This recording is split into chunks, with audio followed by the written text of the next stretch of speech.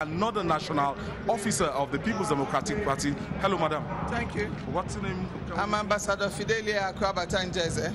All right, all right. Now, looking at the People's Democratic Party, this is an attempt to bring the party back.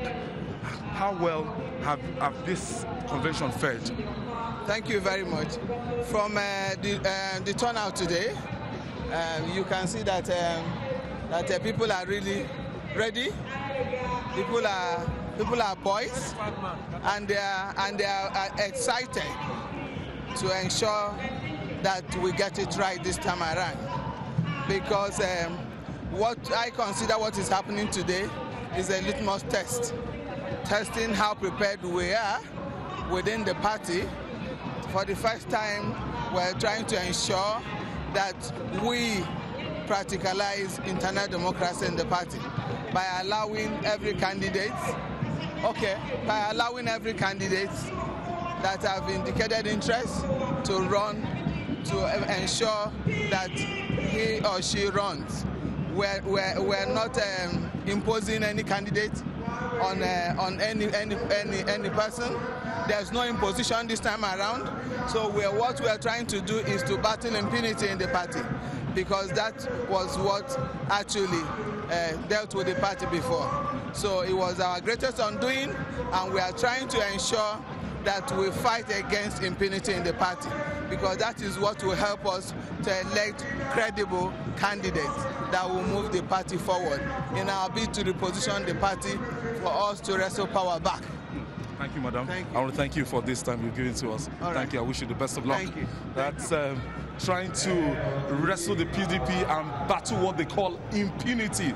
But if you can see, you can see this, the ballot boxes are around here and they are waiting, security men manning these boxes and they are waiting to look at and uh, to start the process. But what just happened now, the, form, the governor of um, uh, the governor of Bayelsa State, that is uh, countryman Seriake Dickson, just raised the motion for the amendment of the uh, constitution of the People's Democratic Party, and a lot of a, a lot of sections of the uh, constitution was actually amended, and it was seconded.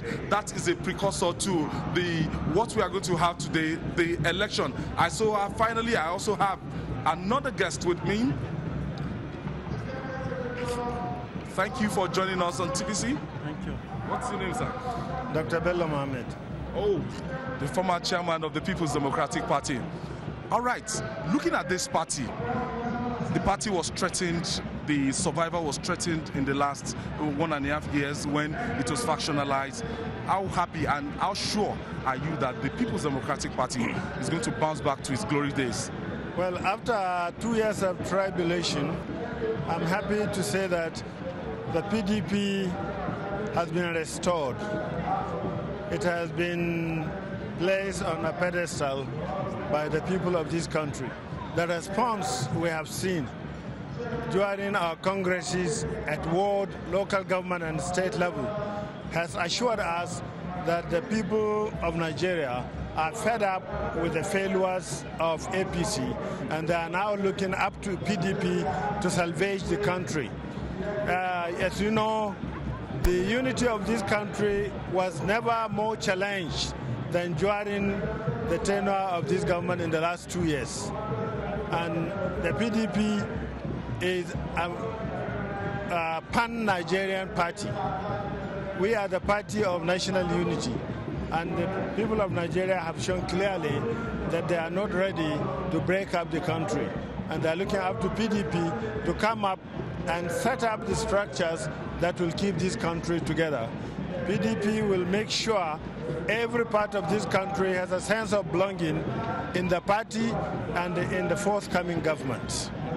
Thank you so much. I wish you the best of luck.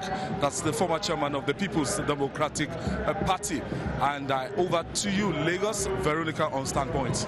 All right, uh, Ayo, before we let you go quickly, um, uh, Buruji Kashamu, that Senator Buruji Kashamu, was suspended for a month, but we haven't gotten details. Possibly you could tell us more about that.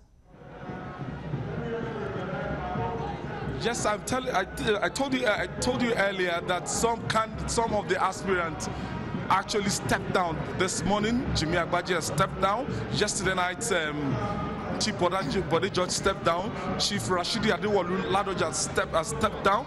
And we still expect more because the whole essence of this is that as many people that can step down from the southwest, it makes it easier and it brightens the chances of the southwest to clinch the chairmanship race. Don't forget, we just have two other candidates from other regions. We have Chief Raymond Aleogho Dokpesi still in the race, and we have Chief Uche Secondus still in the race. So they are looking for a situation from what you heard from the governor. He said they've been appealing and reaching out to this um, aspirant to step down so that when we have one person, they'll be able to face the, uh, the people from the south-south so that for the first time, the southwestern part of the country can at least produce the next chairman of the People's Democratic Party, Veronica. Thank you, Ayo, for the contribution live from the Eagle.